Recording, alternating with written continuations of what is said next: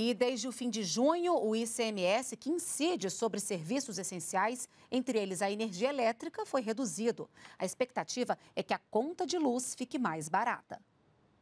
A medida estabeleceu um teto de 18% para as alíquotas de ICMS cobradas nas faturas de energia elétrica. Em muitos estados, esse valor variava entre 25% e 30%. Você tira uma parcela, talvez a parcela mais significativa da conta da gente, que são tributos e encargos, você tira uma parcela. Portanto, é uma redução direta na conta da gente. No Rio de Janeiro, por exemplo, residências, indústrias e comércios com consumo mensal superior a 300 kWh vão ter uma redução de 13% na fatura de energia elétrica. Já no estado de São Paulo, as faturas das residências devem cair em média 9%.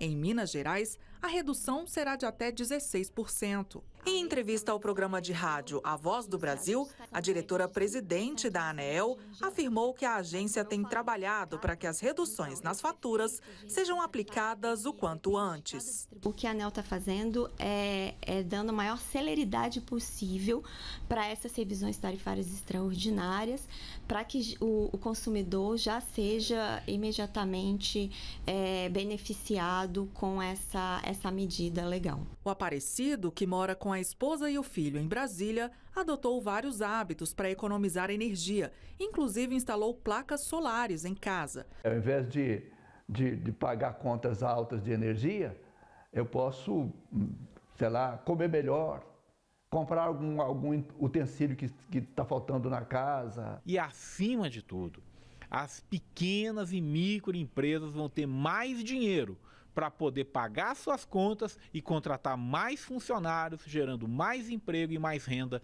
para todo o Brasil.